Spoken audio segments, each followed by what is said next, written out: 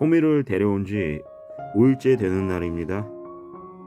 5일 동안요, 여러분 많이 컸어요, 이 녀석이요. 그래서 오늘도 아, 밥을 먹이고 오줌똥을 니고요. 지금 쉬고 있습니다.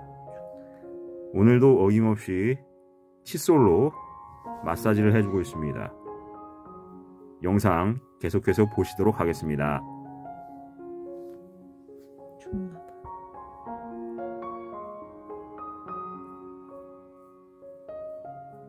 이게 원래 어미가 있었으면 어미가 혀로 이렇게 청소를 해줘야 되는데 어미가 없다 보니 사람인 저희들이 칫솔로 마사지 해주고 몸에 더러운 게 있으면 그걸 이렇게 쓸어주는 것이죠.